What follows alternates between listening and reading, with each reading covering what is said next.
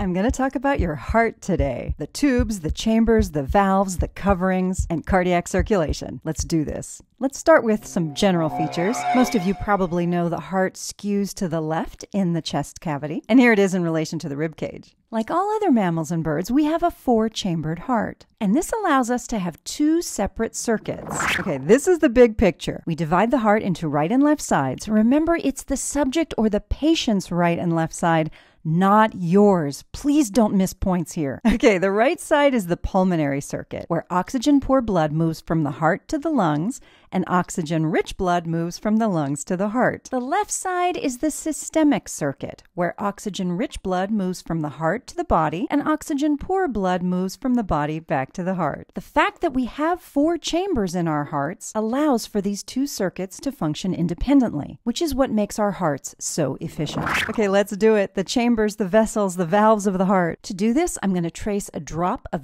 deoxygenated blood that's coming in from the body, and then we're going to go through the pulmonary circuit, then return to the heart, and then move out through the systemic circuit. As we do that, I'm going to go through eight vessels, four chambers, two semilunar valves, and two atrioventricular valves. Ready? Let's do it. All right, this is an anterior view, and we're taking a coronal or a frontal section through the heart. Deoxygenated blood comes into the heart from the body through the superior vena cava and the inferior vena cava and the blood will enter the right atrium. Remember, this is the right side of the heart and this is the left side of the heart. Please don't lose those points. Yes, it happens all the time. The blood will then move through the tricuspid valve. I'm going to talk about the valves in just a minute, so hang tight. And then it moves into the right ventricle.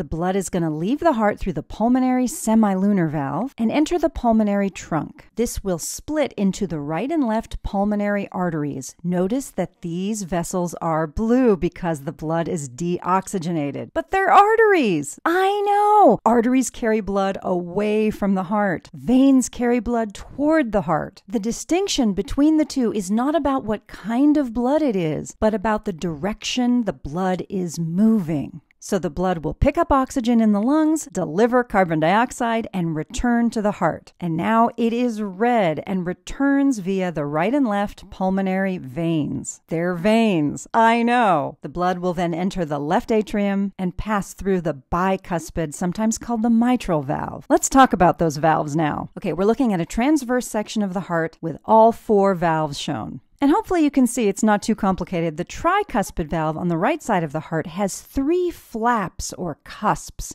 sometimes called leaflets, while the bicuspid valve has two. That word mitral, though, we can thank Vesalius for that. He thought that it looked like a bishop's mitre, this pointy hat. I mean, I guess. Here's something really important about both of the AV valves, though. They have to withstand a huge pressure gradient because what we don't want is for the blood to flow backwards from the ventricles back up into the atria. So we prevent that by anchoring the valve here with what are called chordae tendineae. They're little heart strings, isn't that cute? And they're anchored to papillary muscles in the floor of the ventricle. Now, everything is very loose when these valves are open. Now, to close the valves, these papillary muscles contract pulling on the chordae tendineae, closing and anchoring those valves so they can withstand the pressure. This is what they actually look like. They are really tough fibers. An analogy would be the stays in an umbrella that generally keep the umbrella in the correct shape. Okay, a mnemonic device here that might help you if you're moving through the heart in the direction that we are, starting with deoxygenated blood, you can remember try before you buy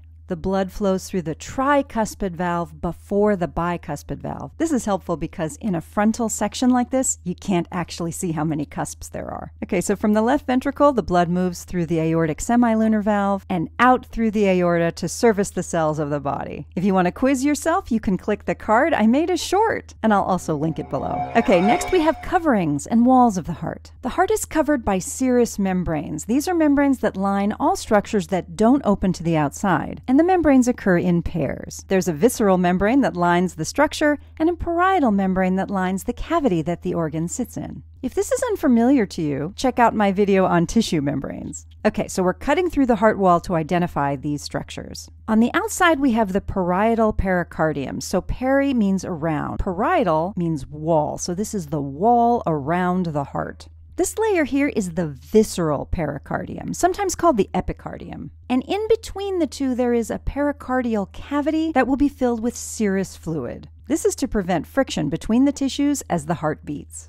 Most of the heart wall, of course, is the heart muscle itself, which is called the myocardium. And then the innermost part of this section is the endocardium. This is a layer of simple squamous epithelia, very smooth surface for the blood to be passing over, and it is continuous with the blood vessels. Finally, we have cardiac circulation. The heart needs a lot of blood, but interestingly enough, the blood inside the heart isn't used to service its own cells. The heart makes up only 0.5% of your body mass, but requires 5% of all your oxygen. So the heart needs its own circulatory system. A bizarre thing here is that coronary arteries are fed during ventricular diastole, unlike all other arteries of the body. Let's look at that. Okay, so here we are again, and I want to take a frontal section through the aortic semilunar valve. So the aortic valve has three cusps or flaps, and the interesting thing to note here is that just superior to them, we have the openings of the right and left coronary arteries. So here's how it works. Here's the transverse section through the valves like we saw before.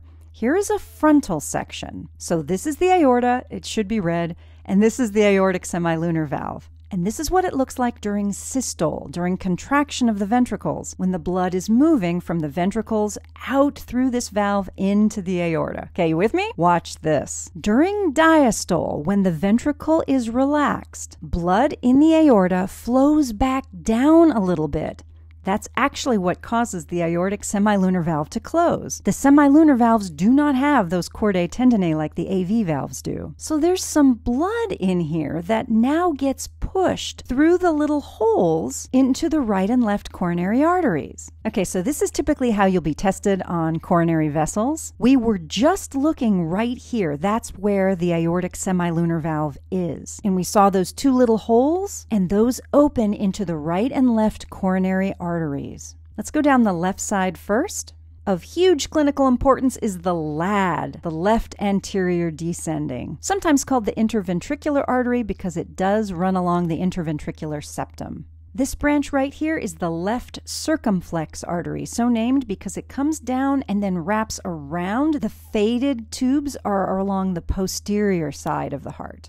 Down along the margin, we have, of course, the left marginal arteries and diagonal branches. Now, on the right side from the right coronary artery, we have the posterior descending artery and the right marginal artery. Are you ready for some more? If you want to learn about cardiac physiology, including the pressure volume curves, and even that Wigger's diagram, Check out my video on the cardiac cycle. And if you're wondering how this became this, I made a short. As always, I hope that was helpful. Thank you so much for visiting the Penguin Prof channel. Please show me some hearts, show me some love by slamming those buttons below, and I'll see you in the next one. Good luck.